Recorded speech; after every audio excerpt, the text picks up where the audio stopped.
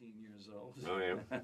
yeah. And uh, he and I have worked on lots of records, but one we made here in Toronto called 10 Easy Pieces, which was really the kind of renaissance of my career. And these last two albums on E1, which are, are Nashville, uh, Nashville projects, the very, very best Nashville musicians and then a lot of friends of ours who dropped in, as you can see. Yeah. Yeah. This this album is a celebration of, of your of your great career.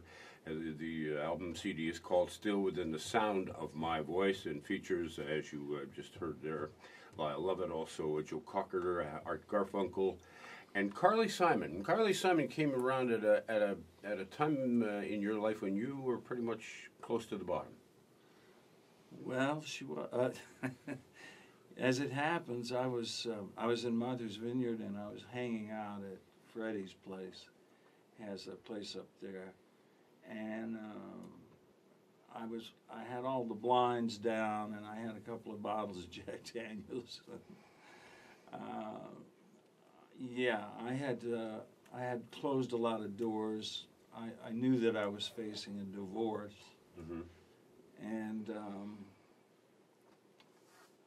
I don't know exactly how it happened, but one morning there was a big horn honking in front of the house, and I went over and looked out, and there was a Land Rover, and I just sort of waved, "Go away," you know.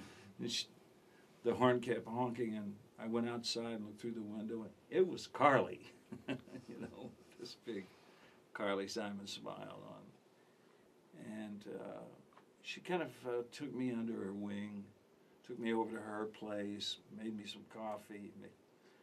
We had uh, actually we had tea. We had tea in the garden, and um, it was a save.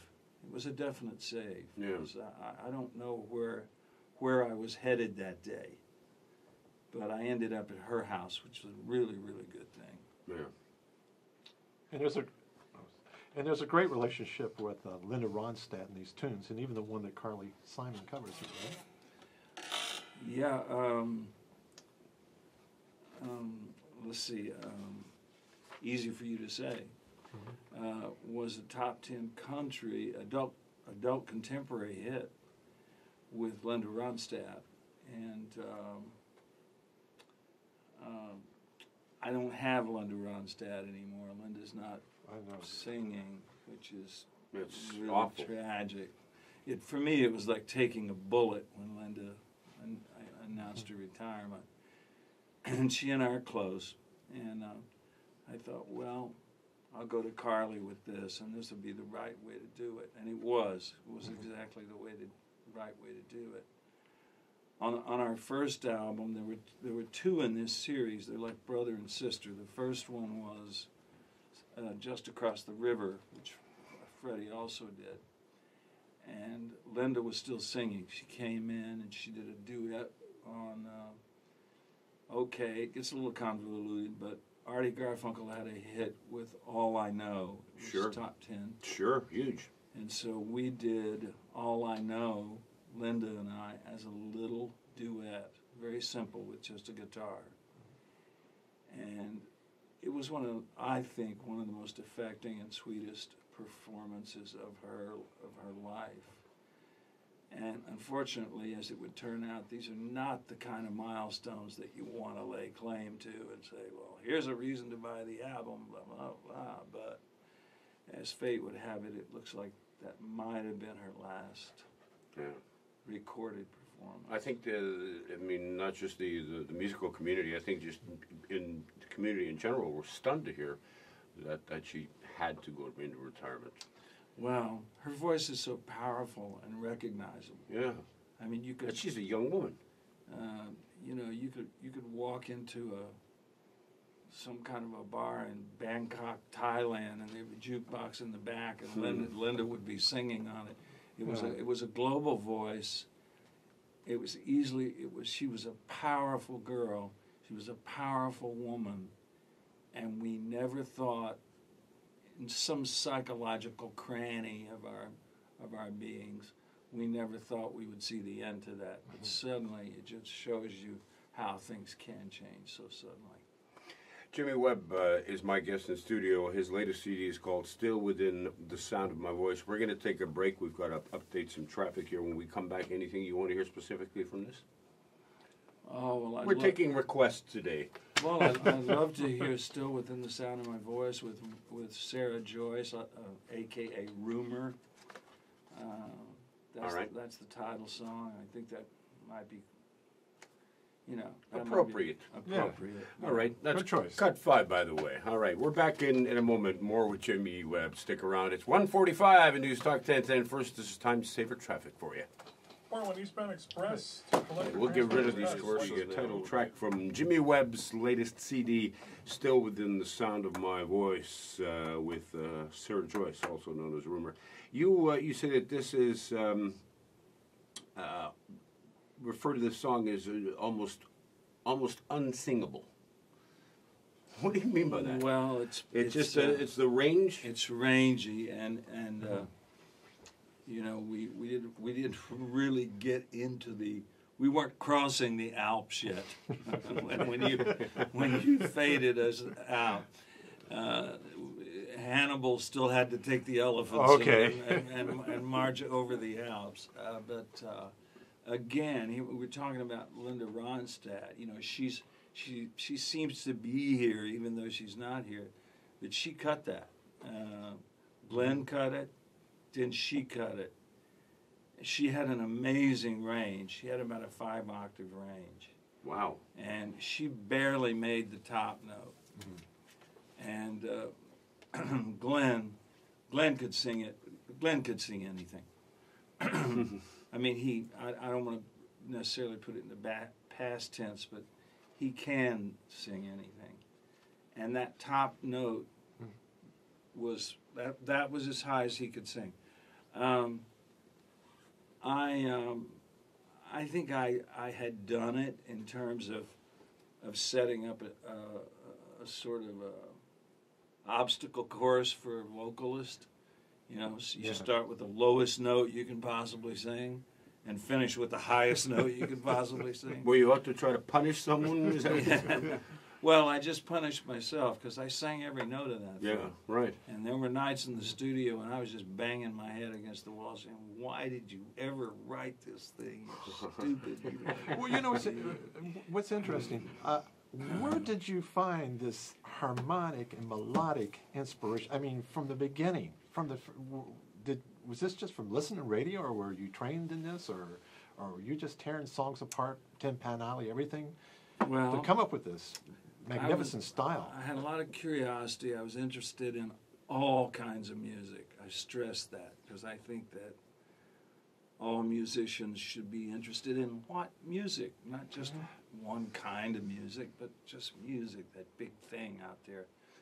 Um, but um, my mother put me on the piano bench when I was six years old. Mm-hmm. She was quite driven in regard to me becoming the church pianist. My father was the minister, and I was going to be the pianist. And so I was on that piano bench for six years, and then uh, I, I was taking lessons for six years, and then at 12 years of age, I took my place on the piano bench. I was the church pianist At 12. at 12. Wow. Wow. And my mother thought that that was the pinnacle of show business. That was it. you couldn't get any higher than that. And and Do you uh, pick up many chicks as the church pianist, by the way? Not that many. Not that many. now, No. was there there a choir In involved? Oh, so yes. you got you had to be working with voices right from the beginning, so you had an understanding of what singing was about. And I love classical music. Right. So my secret, down where I came from in, in, in Oklahoma, um, you know, you, you didn't want people to know that you listened to classical music. Not in my crowd, Right. you know. But I like the big bands. We were just talking about the big mm-hmm. bands Yeah. a little bit. I used to play. I I played the trumpet years, and when I was in high school, and I used to drive around with like a, a back when we had CDs, or no, not before CDs. We had eight tracks with a Glenn Miller eight track. And I'd be playing it, and most of the people in my high school were looking, at me, "Are you all right?" I said, hey, this is fabulous music. I would listen to the Glenn Miller Band, and I would listen to the Dorsey Band. Yeah. And I also loved the Jimmie Lunceford Band. Well, one of the best, huh? And I would go, how did they get that sound? Now, that, that's to answer your question. Yeah. That's the that's the elemental. The first question that comes is, how do even when you're seven years old, you're eight years old, how do they get that sound? Right. And so, because I was very very curious, I set out to learn how they got That those combination sounds. of horns Yeah. and all that tight harmony. And I, I was lucky enough when I was a young kid to hear a big band live a couple of times. Now that's another experience. Mm. I heard Buddy Rich Wow. live, and the sound was hitting me in the chest. It was going right through me. Before I'd ever heard a big rock band or anything like that, I thought, how much noise? How did they get all that noise out of a few guys? sitting- And you know, i got interested in orchestration. So what happened when you put pen to manuscript? What was the first thing that came out of the gate? oh I don't know. Drum roll. Yeah, I know a drum roll, but I mean something, you know, that you got a song around and people covered it.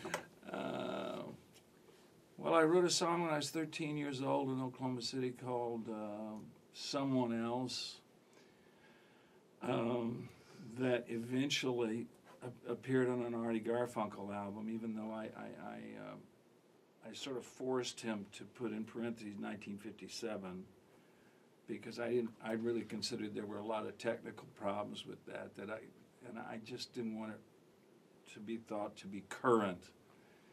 Um, but by the between 13 and 17, I had probably amassed 30 or 40 songs that I would It's incredible. that I could It play. is. And if I talk to young writers and they say, "What do I need to do? Just tell me what the secret is," I would say, "Well, this is really complicated now, so hold on to this, and don't tell anyone else, but write lots of songs." Because my only secret was I wrote lots of songs. So if somebody said to me, "Hey, can you play us a song about this or a song about that?" I mean, chances were I could probably do it. You know. The great Jimmy Webb, uh, still within the sound of my voice, his latest uh, CD, a celebration of, of his tremendous uh, career, appearing this evening at Hugh's Room. Very quickly, because we're already running late. If you had to pick one song that you wanted to be uh, remembered for, what would it have been? Maybe the moon is a harsh mistress. Okay, which is on the CD. Yeah.